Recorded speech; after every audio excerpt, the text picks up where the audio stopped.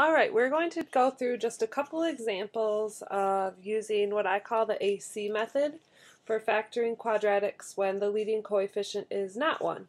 So the reason it's called the AC method is because our first step, after of course factoring out any greatest common factors, will be to multiply the A and the C values together.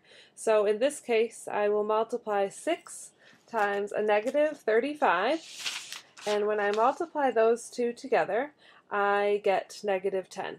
So just like before, on the side I always make my little list here of what we need, and we're going to need two numbers that multiply to negative 210. And just like when the coefficient was 1, um, to find what they have to add to, we look at the term um, that is the coefficient of our x, or the b. In this case, um, it's just a 1. So we need two numbers that multiply to negative 210 and add to 1. Um, so feel free to pause the video and do some trial and error to see if you can find the two values. Um, but the two values that we'll use in this case are going to be the numbers 15 and negative 14 because 15 times the negative 14 is negative 210, and 15 plus a negative 14 is 1. So, unlike when our leading coefficient was 1, we can't just use those numbers in our factors. What we'll have to do is write out the entire expression. So we keep the 6x squared the same, but instead of writing just x, we're going to split it up and write it as plus 15x minus 14x. So notice those two added together do add up to 1x, but we're just separating it. And then we're going to keep our constant at the end the same, minus 35. So to factor this expression, what we'll do is we'll factor by grouping. We're going to group these first two terms and these last two terms together. So here, 6x squared plus 15x, we're going to just see if there's anything they have in common that we can factor out.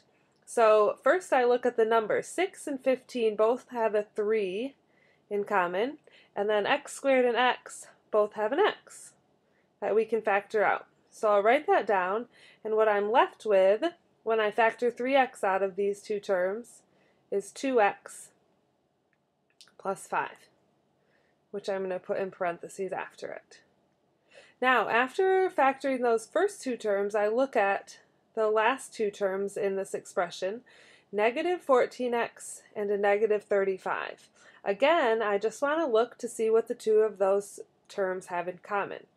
The numbers, I see they both have a negative 7 in common, and then in x, they don't both have an x, so I'm just going to factor out a negative 7.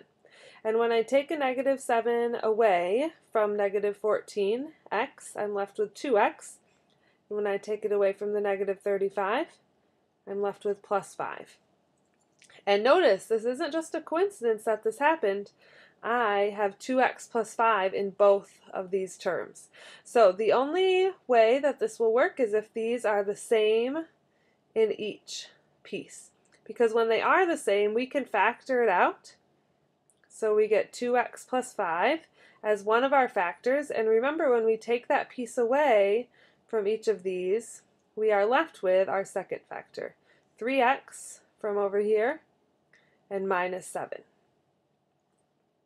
So those would be the factors of that first expression. Now we can do this same thing with our second one. Okay, just for one more example, to start out we look to see if these have anything in common, but there isn't a greatest common factor to factor out. So since there isn't, we'll multiply our A and our C together, the 4 and the 3, and 4 times 3 is 12. So we need two numbers that multiply to 12, and then they have to add up to the B value, which is the number in front of the X, and in this case, that would be 7. So two numbers that multiply to 12, but add up to 7. While in this one, it's nice and easy because it's the two numbers we used. 4 plus 3 and 4 times 3 are 12 and 7. So we'll write it out just like before. Keep the first term the same, 4x squared. And then to write the 7x, you'll have to write it as 4x plus 3x. It doesn't matter at all which order you put these terms in, you will get the same factors. And then our last one here is the plus 3. So we group the first two and the last two, and the first two terms have a 4x in common. So we'll factor that out, and when we take away 4x, we're left with x plus 1. Then the second grouping, they have a 3 in common. When we take away a 3, we're also left with x plus 1. So we have an x plus 1 in each piece. We can factor that out. And when we take away that x plus 1, we are left with our second factor, 4x plus 3. And so the factors there will be x plus 1 times 4x plus 3. There are many other methods to factoring, um, but this is just the AC method, which is the method that I prefer to use when factoring.